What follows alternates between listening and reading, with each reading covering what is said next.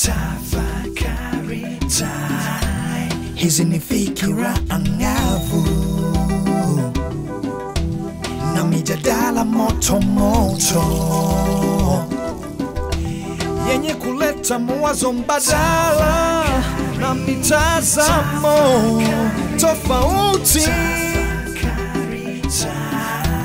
Tafakari time. Mtazamaji, karibu kwenye msimu mpya wa vipindi vya Tafakari Time. Vipindi hivi hulenga kuibua mijadala ya kijamii katika masuala ya elimu kwa watoto wa Kitanzania ili kutuwezesha kutafakari kwa pamoja na kuona ni namna gani tunaweza kushiriki kutatua changamoto za elimu kwa nafasi zetu kwenye maeneo mbalimbali. Katika kipindi kilichopita bado tulikuwa tukiangazia changamoto zinazokwamisha safari ya elimu hasa kwa watoto wa kike, ambapo tulitembelea halmashauri ya wilaya ya Nyasa. Tulisikia wanafunzi, walimu na wazazi wakizungumzia changamoto kubwa ya ukosefu wa mabweni ama hosteli katika shule zao, jambo linalopelekea baadhi ya wanafunzi hasa wa kike kupanga mitaani alimaarufu kama geto.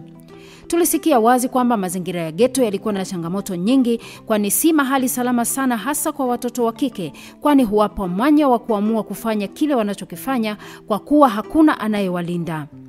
Lakini watoto hawa wa kike wanaokaa geto walielezea wazi kwamba maisha ya geto ni magumu, kwani wakati wakiwa darasani hujikuta wakiwaza wapi watapata mboga, wapi watapata chakula, wapi watapata kodi kwa ajili ya kulipia pango, kwa kuwa wazazi walio wengi bado hawana uwezo wa kumudu kulipa gharama hizi kwa watoto wao.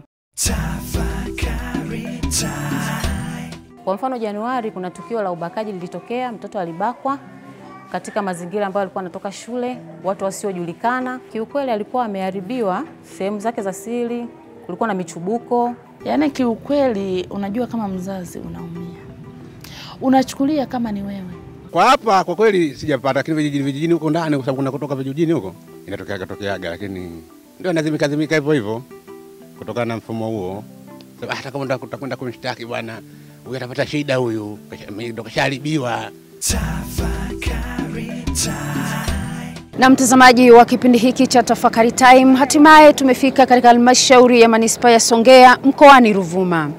Safari yote hii ni katika kumtazama mtoto wa kike na harakati zake za kupata elimu. Tutaweza kuangalia ni vikwazo gani hasa vimekuwa vikiwakwamisha hasa watoto wa kike katika safari yao ya kupata elimu na namna gani tunaweza tukashirikiana kama wadau ili kuwasaidia watoto hawa waweze nao kufikia malengo yao. Ah, matukio ya ubakaji katika wilaya yetu hii yapo, yapo yanatokea na yanajirudia rudia, ila kwa hapa kituoni kwetu tunapata hayo matukio na tunayaripotia, ila wakati mwingine tunashindwa kuyapata kwa wingi, kwa sababu yanapotokea huwa wazazi hawaleti katika vituo vya kutolea huduma. Kwa hiyo wanayamaliza huko mtaani na kutokomea huko huko bila watoto kuwaleta, lakini kwa wale tunawapata hapa kituoni kwetu tunadili nao na tunawapa hizo huduma zinazostahili na kuwafikisha sehemu stahiki. Kwa mfano, Januari kuna tukio la ubakaji lilitokea, mtoto alibakwa katika mazingira ambayo alikuwa anatoka shule, watu wasiojulikana, akakuta tu amekamatwa na watu ambao haijulikani mpaka sasa walikuwa wakina nani, wakamfanyia hilo tukio la ubakaji. Baada ya hapo akarudi nyumbani, mzazi akamchukua na kumleta katika kituo chetu. Baada ya kumfanyia uchunguzi, kweli tulibaini kwamba huyo mtoto kweli alikuwa amebakwa. Kwa hiyo tukamfanyia vipimo kwa ajili ya kutambua afya yake, pia tukampima magonjwa ya zinaa pia ilibidi tumpe pia na huduma ya uzazi wa mpango ya dharura, emergency contraceptive kwa kitaalamu inaitwa, ili kuweza kuzuia kama yule mtoto amepata ujauzito usiendelee, ili mtoto aendelee na shule. Ah, kiukweli alikuwa ameharibiwa sehemu zake za siri, kulikuwa na michubuko na kulikuwa na uchafu ambao tuliukuta pale. Kwa matendo kama hayo kwa mtoto wa kike, alafu pia ni mwanafunzi kwanza mwisho wa siku inaweza kumwathiri kwamba anaweza kupata ujauzito ambao haukutegemewa, na kama mnavyojua saizi hali halisi kwamba mtoto akishapata ujauzito haruhusiwi tena kuendelea na masomo. Kwa hiyo kwanza, kwa mtoto wa kike itamwathiri, atakatiza masomo yake. Pili, anaweza kupata magonjwa ambayo ni bado mtoto mdogo, anapata maambukizi ya virusi vya ukimwi, anaweza kupata magonjwa ya zinaa ambayo mwisho wa siku anaweza kumsababishia yeye hata kuathiri katika viungo vyake vya uzazi. na matatizo mengine ambayo mengi mengi yanaweza kujitokeza. Kwa watoto sisi tunawapokea hapa, labda niseme tu kwa, kwa, kwa, kwa mwezi labda kwa mfano kwa, tuki, kwa matukio ya ukatili kwa mwezi naweza nikapata labda wateja kumi na tatu ambao wamefanyiwa ukatili. Katika wateja kumi na tatu watoto wanaweza kuwemo wawili, labda nielezee hivyo. Unakuta watoto wako wawili, wengine ni watu wazima. Na mtazamaji wa kipindi hiki cha Tafakari Time, tukiwa bado tuko ndani ya manispaa ya Songea katika mkoa wa Ruvuma, watoto wa kike wamekuwa wakikumbana na vikwazo mbalimbali mbali ambavyo vimekuwa vikiathiri maendeleo yao kitaaluma, lakini pia kiafya. Katika pitapita ya Tafakari Time tumekutana na binti anayeitwa Lilian ambaye si jina lake halisi. Ni binti ambaye alikumbana na kisa cha kusikitisha cha kufanyiwa kitendo cha ubakaji. Tumezungumza na wanafamilia pamoja na Lilian ambaye wametuelezea namna ambavyo tukio hili lilitokea. Tafakari time. Yaani siku ya tukio alikuwa anaenda shuleni. Sasa kabla ya hapo alikuwa anaumwa kwa sababu ana matatizo. Kuna muda huwa linamkuta tatizo, anaweza akadondoka akapoteza fahamu, akakaa masaa kadhaa, ukamwombea akapata fahamu, akaendelea na, na, na, na mambo mengine. Sasa siku ya tukio, kabla ya siku kadhaa nyuma, alikuwa tayari ana tatizo kama lile tulienda kum, tulipigiwa simu shuleni tukaenda kumchukua tukaja naye nyumbani kwa ajili ya maombi, kwa sababu huwa tunahangaika sehemu zote, lakini tukimtanguliza kwanza Mungu. Tukanani kwenye maombi. Baada ya maombi, baada ya siku mbili tatu, akawa amepata unafuu, akang'ang'ania kwenda shuleni, tukamruhusu aende shuleni. Nilivyoingia kwenye daladala, nilipokuwa nimeshakaa daladala imeshaanza kutoka hapa kwetu Mshangano, nikaanza kujisikia tofauti, kwamba zile dalili ambazo nilikuwa naumwa mara ya kwanza kwa wiki nzima zilikuwa zimeshaanza tena. Baadaye nikawa nimeegama kwenye siti ya mbele yangu, tokea pale sikujua tena kitu gani ambacho kimeendelea. Nilipokuja kushtuka, nilikuwa tayari nimefika maeneo ya stendi. Nilikuwa sifahamu niliingia kwenye daladala gani, kwa sababu sikusoma daladala imeandikwa inaenda sehemu gani. Nikawa nimeingia kwenye ile daladala nimekaa. Wakati dadala imeondoka, sikujua dadala inaenda sehemu gani. Wakati huo nilikuwa sielewi chochote kile ambacho kinaendelea. Nilipofika nilipofika ile sehemu nikawa nimeshuka kwenye ile, yani bado nipo kwenye daladala. Sasa kidogo fahamu zikawa zimerudi. Nikawa namuuliza konda, hapa ni sehemu gani? Akaniambia hapa ni Peramiho. Nikamwambia samani, naomba unirudishe Songea kama inawezekana, kwa sababu mimi sikai Peramiho na ninaumwa. Ile konda kama amenizuia, akaniambia kama una nauli ndo nitakurudisha, ila kama hauna siwezi kukurudisha. Na mimi nilikuwa sina nauli nyingine, kwa hiyo ikabidi nishuke pale. Niliposhuka yale maeneo nikawa sina sehemu ya kwenda, nikawa tunatembea pale pale. Kulikuwa hamna watu wengine ambao nikaweza kusema kwa jirani naweza nikawaomba msaada. Baadaye nimefika hiyo sehemu, sijui ni kama niseme ni uwanjani, uwanja wa mpira, niko yale maeneo na kaka amepita na basikeli yake. Alivyoniona mimi, baadaye akasema huku unaenda wapi? Nikamwambia samani nikawa nimemweleza hali halisi iliyopo kwa kumuomba yeye msaada. Akasema kwa leo mimi siwezi kwenda mjini Songea, ila kwa sasa hivi labda naweza kupeleka nyumbani kwangu. Kwa nyumbani kwangu kuna watoto ambao naishi nao, au unaweza ukakaa nao, alafu kesho nitakupeleka kwenu kwa wazazi wako. Nikawa nimesema sawa, akanichukua pale mpaka nyumbani kwake, kwa sababu ikichukua umbali mrefu sana hadi nyumbani kwake. Lakini nilipofika pale mazingira yakawa tofauti na vile alivyonieleza kwamba nitawakuta watoto. Akakuta nyumba ipo kimya. Mimi nikamuuliza sasa watoto wako wapi? Akasema inaweza inawezekana wakawa wameenda kucheza. Na watarudi na utakuwa nao hapa. Nikamwambia sawa. Akawa amenikaribisha ndani lakini alivyonikaribisha ndani kunikaribisha kama sebleni au sijui ni kama ana nikaribisha chumbani. Nikamwambia sasa mbona unaniweka huku?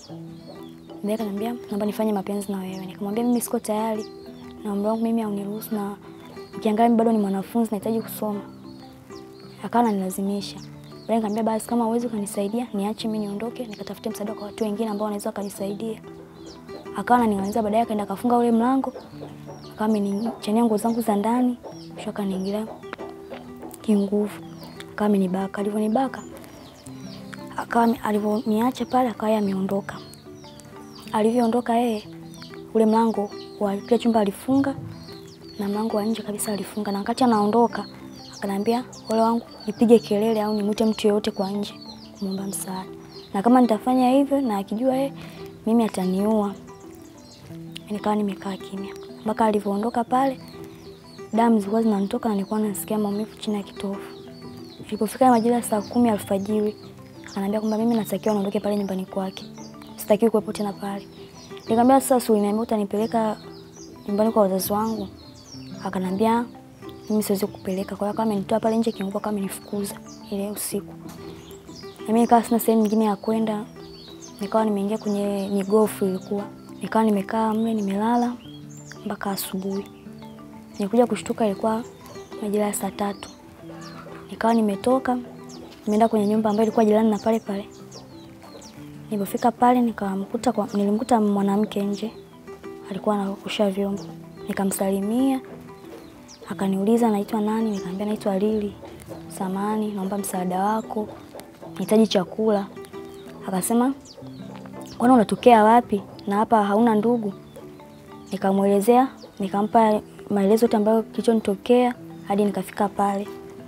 Basi akaniambia subiri hapo hapo, akawa amenipa chakula. Baada ya kunipa chakula, akaja mme wake akaniambia kama naifahamu namba ya mzazi wangu baba au mama. Nikamwambia naifahamu namba ya baba, nikawatajia, wakawa wamempigia simu baba, akawa amekuja na mjomba wangu mimi. Walipofika pale, wakawa baada ya kuongea na wale wa mama na yule mwanamke pamoja na mme wake, wakawa wamenichukua mimi kunirudisha huko. Nilipofika nyumbani, nikawaeleza mama na shangazi yote ambayo alikuwa amenitokea, na baadaye baada ya kuwaambia hivyo, mama ndo akamwambia baba kwamba itabidi niende hospitali siku ile ile. Kwa ilipofika ile majira saa moja, tukawa tumeenda polisi kwanza kata Arabi. Baada ya kupata Arabi, ndo nikawa nimeenda hospitali ya Mji Mwema. Baada ya kwenda kule hospitali, baada ya kuchukuliwa vipimo, yule daktari akawa anasema nakana na maambukizi ya magonjwa ya zinaa. Kwa sisi hapa tutamwandikia dawa atazitumia kwa mwezi mzima. Akasema sawa basi. Baada ya kuwa nimepata zile dawa nikawa nazitumia kwa mwezi mzima. Baada ya hapo nikawa nimeitwa na kituo cha polisi cha kule Peramiho kwamba itabidi nikaonyeshe hiyo nyumba ili wao wamkamate yule wa kule, alafu ndo amlete huko, amsafirishe amlete huko. Baada ya kuonyesha ile nyumba, nikawa nimerudi huku, nimeendelea na masomo kama kawaida. Baadaye nikaambiwa inabidi nikaitwa tena, ikabidi nikamtambue mtu kwa sababu ameshakamatwa, inabidi nikamtambue kama ni yeye. Nikawa nimeenda tena kule kumtambua, nikamwambia ndio huyu. Lakini sasa baada ya hapo sasa kuja kuisikiliza kesi toka mwezi wa saba, kila ukienda kule, kwanza nikienda kituoni kule naambiwa kesi ime, imepandishwa mahakamani. Mahakamani naambiwa ah, kesi yenu bado imeenda inahairishwa, inahairishwa, kwanza inahairishwa, mimi sijui tarehe, ila nikifika pale bwana, kesi wewe, kesi yako bado. Baadaye ikabidi mimi nianze sasa kuwatafuta mawakili walioishikilia ile kesi wa serikali. Bahati nzuri nikampata aliyeshikilia ile kesi na nikaja nika, aka, yule ndo akaja akaniambia sana tarehe, ndo nikaanza sasa kuhudhuria, lakini kila nikienda kesi imeahirishwa, kila nikienda kesi imeahirishwa. Mbaya zaidi mtuhumiwa mimi namuona nje. Eh, unaweza yani, kinafika kipindi una- unatamani ufanye kitu kingine, lakini unaogopa upande mwingine sheria itakubana. Basi mimi nikaendelea kuvumilia kuvumilia mpaka mwezi wa, wa kwanza mwaka huu nikapewa summons ya kuja ku- ku- kutolea nani, mtoto aenda akatoe maelezo kule. Ile ni kazi, iache kama kazi, weka ubinadamu, then kazi ije baadaye, kwa sababu wewe unavyomrusha mwenzio unampa shida, unampa shida kwa kweli. Sasa kama vigezo vimeonekana vyote, afu unampa kalenda, kalenda za nini ha? Kwa nini isi- isitolewe nani hukumu ambayo inaeleweka? Kwa sababu vigezo vyote tumevikuta, Ikiwa labda mshtakiwa hajapatikana, mfanya nini? Ile ni shida, lakini vigezo vyote vimepatikana, kwa nini mwekee kikwazo? Vitendo vya ubakaji vipo vingi na kesi za ubakaji zipo nyingi, isipokuwa kulingana na, na matatizo nadhani ya sheria zetu hizi au mahakamani huku kulivyo, watu wanaamua kulimaliza juu kwa juu, yaani mnamalizana huko mwenye kesi mwenye tukio akifanya tukio akimwona mzazi mwenye nanii, wanamalizana wanapeana hela, au mi nadhani na upande mwingine, ingawa sina ushahidi na asilimia hata waliosimamia sheria sheria wanajaribu kuzi, wanazipindisha kwa sababu sheria unaweza ukawa una, vigezo vyote na dokta akathibitisha, lakini mwisho wa siku tukaambiwa kesi ni DCBC au shahidi kukamilika. Kwa hiyo kuna watu wengi wanafanyiwa vitendo hivi watoto wao au nani, wanashindwa kupeleka vitu mahakamani kwa sababu wanaona ni kupoteza muda. Kama mfano mimi saizi tayari kesi ina zaidi ya miezi sita. Tayari kama ningekuwa na roho nyepesi ningeamua ku, nani ku- ku- kui- kuiachilia tu au nikapokea hiyo hela, lakini siwezi mimi kuuza utu wangu kwa ajili ya mtoto wangu. Vipo hata mimi mwenyewe walishanitafuta kwamba naomba tukae tulimalize, nikamwambia hiyo- issue kwangu hii haipo, twende kwenye sheria tuone sheria inasemaje. Nikishindwa kwenye sheria basi nitakuwa nimemwacha mambo yote namwachia Mungu. Alivyojieleza yeye, namba na nadhani alichukua sijui kituoni eh, alivyojieleza yeye alisema ana shida ya kukutana na mimi ili tulimalize hili jambo la huyu mtoto ambaye amefanyiwa kitendo fulani nani ubakaji Pelamio. Kamuuliza tumalizane vipi? Asema "Ah, tukae tulimalize. Wewe ujui hilo? Ina maana kwa uelewa wangu mimi tukae tulimalize, nipokee hela yaishi. Nilimkatalia kwa alivyonipigia, alipigia simu siku moja tu, nikamwambia kwa ishu kama hiyo mimi sipo tayari, tukutane tu mahakamani. Nikamwambia tukutane tu mahakamani. Kwa hiyo sasa, kama hukumu inacheleweshwa, hapo ndio nimesema ni hapo labda utendaji wa mahakama kulingana na muda wa hakimu na kesi alizonazo inaweza pia ikachelewesha, lakini wakati mwingine kuna kuoga na mazingira ya rushwa, hiyo hatuwezi kui kui- kuiondoa kabisa. Kuna wakati kesi zingine zinachelewesha. Nakumbuka kuna kesi moja ya ubakaji kubwa sana iliwahi kutokea nchini hapo nani, eh, askofu mmoja alikuwa madhehebu fulani hivi akawa amebaka waumini wake. Sasa baada ya ile kesi kwenda mahakamani ikafikia eh, ikafikia mahali ya hukumu kabisa, hukumu haisomwi, hukumu haisomwi. Tukienda hukumu imeahirishwa, ndio tukaja kugundua kwamba kulikuwa na mazingira ya rushwa. Alikuwa ameambiwa apeleke kiasi cha fedha, kwa hiyo akawa anatafuta hizo fedha. Akienda anamwambia mheshimiwa, nitaleta e, safari ijayo inapigwa tarehe, tutatoa hukumu tarehe fulani, mpaka alivyoona kwamba hizo pesa haziji, ndo akatoa ile hukumu, na hela hazikuja kwa sababu kuna mtu alipewa apeleke, akaingiza ndani na yeye haku- hakupeleka. Kwa hiyo vitu kama hivyo hatuwezi kuvihesabu kabisa, lakini sio vikubwa sana kama hiyo hali ya kwamba mahakama yenyewe, mifumo iliyoko, wakati mwingine hakimu anakuwa ana kesi nyingi, kwa hiyo inamchukua muda kwenda kukamilisha hizo kesi. Hizo ni tamaa ambazo kwa wazazi ambao wasiojielewa hazina msingi, kwa sababu endapo mtoto wako amebakwa alafu wewe mwenyewe hujafuatilizia, na yule ni mtoto mdogo na ni taifa la kesho, unafikiria yule atajisikiaje? Ndio, hata kama utakuwepo umeachia kwa sababu ni mzazi, lakini yule rohoni wake bado atakuwepo anaumia, japokuwa hawezi kulizungumza jambo hilo kwako wewe, kwa sababu atakuwa anakuogopa kwa sababu ni mzazi, kwa sababu mtu anayebaka mtoto sio mtu mzuri. Wazazi waache tabia hizo eh, za kuchukua hela kinyemela nini, kwa sababu kama ni ziki ziki haina mwisho. Wewe zingatia mtoto wako. Yapo hayo matukio ya ubakaji, lakini ukiangalia sana ni uzembe wa wenyewe wazazi, kwa sababu unakuta mtoto mdogo wa miaka mitano sita anakuwa amebakwa, umeona kwa sababu mtoto wa miaka mitano au miaka minne ni bado inabidi wewe mwenyewe umwangalie kwa makini. Huwezi kumwacha mtoto anapita kuangalia video kwenye mabanda ya video, wewe mwenyewe hauna habari. Kwa hiyo mwisho wake lazima mtoto afanyiwe hivyo. Kwa hapa kwa kweli sijapata, lakini vijijini vijijini huko ndani, kwa sababu unakotoka vijijini huko inatokea katokeaga, lakini ndio nazimika zimika hivyo hivyo kutokana na mfumo huo. Hata kama utakwenda kwenda kumshtaki bwana, huyu anapata shida huyu, kasharibiwa, sasa kwenda kumshtaki kiwandani, atakusaidia nani bwana? Wala uchukua watu shirikiane naye tu, tulelee mtoto huyu. Sio kesi zote zinaripotiwa. Kuna kesi zingine haziripotiwi, lakini kuna kesi zinazoripotiwa zinafika mahakamani na zinafika mwisho. Hizi zisizoripotiwa zina bali zinazo- zisizoripotiwa zinaishaga huko mitaani, wanamaliza kiundugu zaidi.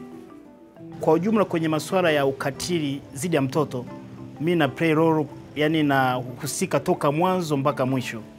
Kwa mfano mtoto akisha akishabakwa anapelekwa hospitalini, akishapelekwa hospitalini anaenda polisi, kesi inaenda mahakamani. Hata mahakamani kama ni mtoto anaingia mahakamani e, kama mtoto yule amefanyiwa ukatili yawezekana amefanyiwa na mtu wake wa karibu, mi nahusika pia wapi anaweza kuhifadhiwa yule mtoto alifanya uwanga wa ukatili.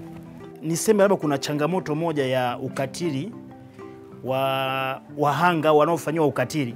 Changamoto iko moja tu kwa mkoa wetu wa Ruvuma, wakishafanyiwa ukatili wakati kesi inaendelea sehemu ya kuwahifadhi. Hiyo ndio changamoto kubwa sana, hatuna safe house.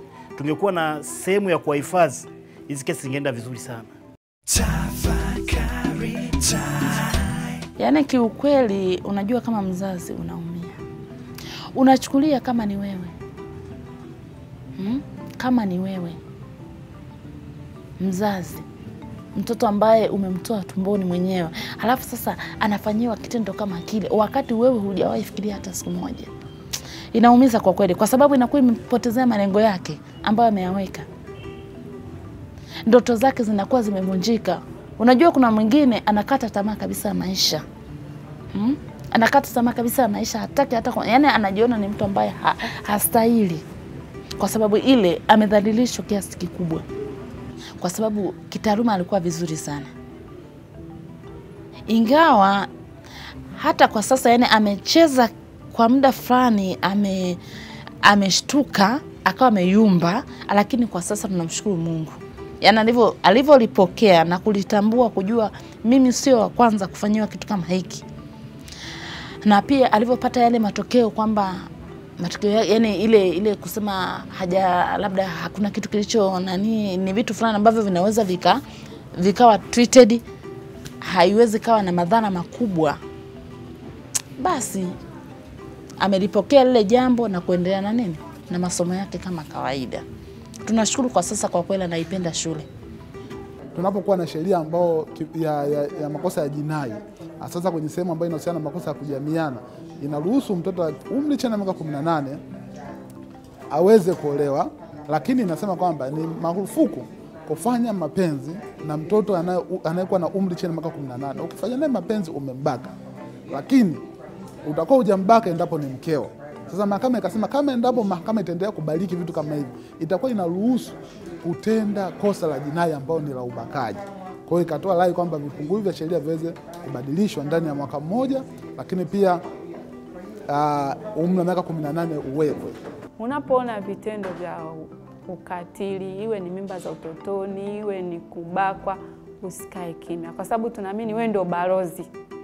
Kwa hiyo wewe paza sauti, toa taarifa sehemu yoyote. Kuna dawati la jinsia, kuna polisi, kuna mashirika, kuna hizi ngazi za kata. hem toa taarifa sehemu yoyote ile, ili kumsaidia huyo binti au mtoto.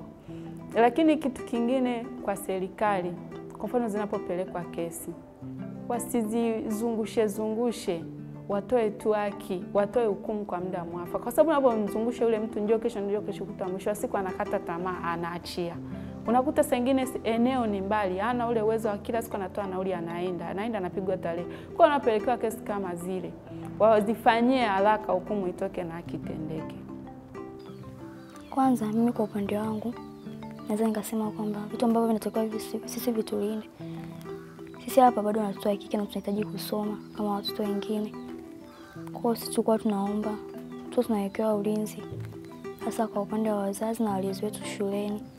Kama tunakuwa tuna matatizo shuleni kuhusu familia tu tunawaeleza walezi wetu wa shuleni, na hata kama pale shuleni kama ni shule ya mchanganyiko kama nayosoma mimi, unakuwa na matatizo, hapana, anakuwa anasumbua sisi watoto wa kike. Kwa hiyo tunachukua kuwaeleza walezi wetu, hata kama anayapa nyumbani, kuna mtu labda unaona unahisi anakusumbua kwa mtaani, pia tusichoke kuwaeleza wazazi wetu hapa nyumbani, ili waweze kufuatilia mapema kabla hajawa makubwa. Watoto wanaofanyiwa hivi vitendo wasio wanaogopa kuambia wazazi wao au walezi wao, kwa sababu wanaweza wakawa waficha wazazi wao, alafu hawawezi wakajua labda yule mtu aliyemwingilia na matatizo gani, wakaambukizwa magonjwa na vitu vingine, labda ujauzito. Kwa hiyo mimi, na, mimi kama mimi nawashauri watoto wenzangu wasiwe wanaogopa kuambia wazazi wao au walezi wao. Mimi kama mimi kwanza niliumia, kwa upande mwingine nilikuwa naogopa kumweleza, nilihisi kama mama angenipiga, lakini baadaye nikawa nimejishajitoa mwanga kama hata kama atanipiga sawa, lakini mradi mimi nimwambie anielewe kwamba mimi ndo hivyo, kwamba hayo matatizo ndio yalinikuta. Ingawa nashukuru kwamba mamangu alinielewa, pia na shangazi walinielewa, hawakufanya kama vile nilivyokuwa nafikiria mimi. Ah, mimi kama muuguzi na pia kama mzazi au mlezi na washauri wazazi, yani wawe wana tabia ya kuzungumza na, na watoto wao Unakuta mtoto kama hakai na mzazi wake kum- kumwelezea vitu fulani fulani ambavyo sio, mtoto anakuwa yuko katika umri wa kukua, kwa hiyo haelewi, analimbukia tu kitu chochote kile ambacho mbele yake kipo. Lakini tukikaa nao tukawaelekeza vizuri kwamba hiki na hiki hakifai, labda mwanaume sio anapokuita uende huku na huku, utakiwi kwenda, mkatalie. Na kama uko katika mazingira ya shua na kuchukua katika mazingira ya kukunyanyua kwa nguvu, basi piga hata kelele au omba msaada kwa wenzio ili waweze kukusaidia. Lakini pia hawa wazazi basi tusijisahau kwamba tu tunawatimizia mahitaji ya watoto, isionekane tu tunawapeleka shule afu tunawasahau kabisa huko. Yaani tu chukue yale majukumu kama ni ya kwetu, ili watoto wetu ili waendelee na haya masomo, na mwisho wa siku tuwe tunafuatilia maendeleo yao. Usilizike tu mtoto kaenda shule anarudi, hata daftari tu upekue kwamba huyu mtoto leo kweli amesoma, ameenda shule, hata tu utaki kujua habari zake, kwa kweli inakuwa ni tatizo. Kwao nawashauri kwamba tuwe karibu na hawa watoto, wana mengi sana. Si wakija hapa wakishapata na tatizo tukikaa nao anakueleza vizuri, lakini mama anashangaa, mbona nyumbani hakuniambia haya yote? Kwa hiyo hapa amekuja amekwambia kila kitu eh, kanitajia mpaka wewe mwanaume ambaye anamfanyia hivyo. Kwa hiyo tuongee nao kwa upole. Ukishamkaripia na yeye anaogopa, anaficha, anaweza akakubadilishia kabisa, sijafanyiwa hivyo. Na kama hujamchunguza kweli, unaweza kuamini kwamba huyo mtoto hajafanyiwa lakini ukimwangalia sisi tuki- tukishaongea nao vizuri, wanatuelewa. Ukienda kumchunguza unakuta mtoto kweli mwingine amechanika chanika kabisa sehemu zake za siri, ameharibika kabisa, mwingine mpaka anatoa harufu kabisa. mbinu za mtoto kuweza kujilinda na ubakwaji e, inategemea na mazingira. Kuna watoto wengine wanabakwa wakiwa labda wanatoka sehemu kwenda sehemu nyingine na ni mahali pana pori katikati, msitu, na watu wanaokuja kumbaka sangine ni wengi, wanampiga mande na vitu kama hivyo. Nyingine watoto wanabakwa ndani nyumbani au kwa jirani aliyemzoea. Kwa hiyo kama ni mazingira yapo nyumbani, ni watoto kufundishwa kuto kuzoea sana watu na kuwa waangalifu. Mambo ya e, nimeshawahi kumwona watoto fulani amesimamisha gari kutoka kuwapa lifti, walikataa, wadogo tu sana, walikataa kwa sababu wamefundishwa usikubali mtu ambaye humfahamu akuchukue. Lakini wakati mwingine si mtu asiyemfahamu, anakuwa ni mtu wa nyumbani, baba mdogo, niletee maji ya kunywa chumbani anampelekea si ana heshima, lazima baba mdogo amekuita. Akifika pale sasa, watoto pia wajengewe mazingira, mtu anavyokusemesha, anavyotaka kukugusa, wasiwe na ukaribu na watu kiasi hicho. E, nilifurahi siku moja mimi kajuku kangu kadogo sana, nadhani amefundishwa, wala sio mimi, amefundishwa shule. Alikuja baba mmoja hivi akamchukua mwenzi hapo na vijukuu vidogo viwili, akamchukua akamrusha juu. Huyo mwingine akamwambia ah, mimi sitaki kushikwa, mimi ni mkubwa, siwezi kushikwa shikwa ovyo. Sasa ile ni kwamba ameshafundishwa, sio kila mtu tu anakuja anaanza kukushika. Mtoto anaanza kujengewa hivyo, sio kila mtu aanze kukushikashika akuguse au sijui. Hapana, usizoeane na, na watu. Hata kama mtu anakutuma e, mambo ya kuniambia nenda kachukue chumbani sijui nini, wawe na tahadhari, wafundishwe kuwa na tahadhari, kwa sababu mara nyingi wanaobakwa mabarabarani ni wachache, wengi ni katika ma, mazingira ya nyumbani au kwa majirani. Kwa hiyo kama wameshafikia e, kufika sekondari, hao ndio wanatakiwa wawe waangalifu zaidi, kwa sababu pia wao ni rahisi sana hata si kubakwa, kulaghaiwa. E, ingaji kisheria kama hajafika miaka kumi na nane akiingiliwa kimwili ni kubakwa, lakini unaweza kukuta ni ule ubakaji wa kulaghaiwa. Mtu anamuita anamsemesha, mwisho anamfikisha kwenye sehemu ambazo anakuta amekubaliana kufanya tendo la ndoa ambalo kwa kisheria ni la ubakaji, kama ni mtu ambaye hana uwezo kisheria kutoa ridhaa yake.